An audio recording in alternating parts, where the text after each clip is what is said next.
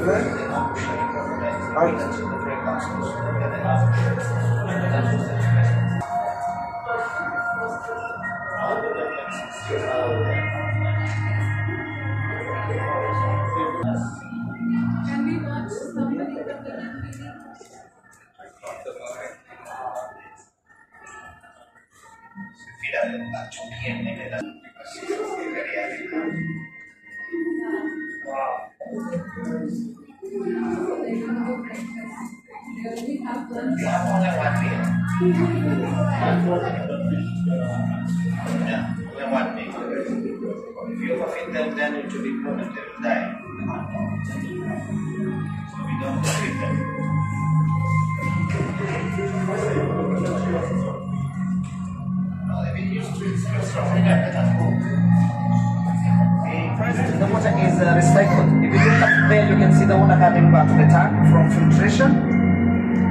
Then, afternoon, after they finish the sharks, then come inside the tank with the brushes to scrub these rocks.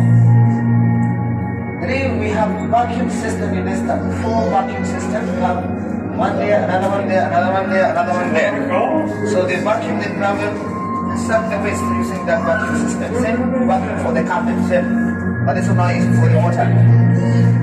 So these rocks and coral, they are not real rocks, they are artificial rocks. They are made of fiber. They are light and easy to clean. And this being seawater, if you put real, uh, real rocks here and real coral, then algae will start growing here. To make it difficult for the divers to clean. We have 85 species of fish, about 20,000 fishes and the small ones make the largest number. These animals are fed every day, only once. All the sharks, they are fed at 2 p.m. in that cage. So at 2 p.m., someone goes in the cage with the food, like tuna. The cage goes down 5 meters with the cage. Sharks will come close, then here will go feeding. Any kind of feeding where you're feeding the, the, the animal direct through the mouth, that's target feeding.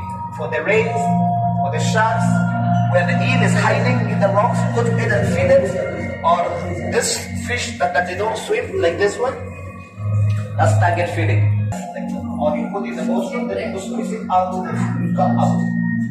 Broadcast feeding. Any other question?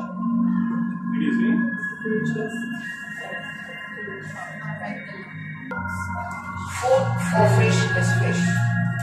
Fish eat what? Like of a doubt are you how you identify the Fish, fish, big fish.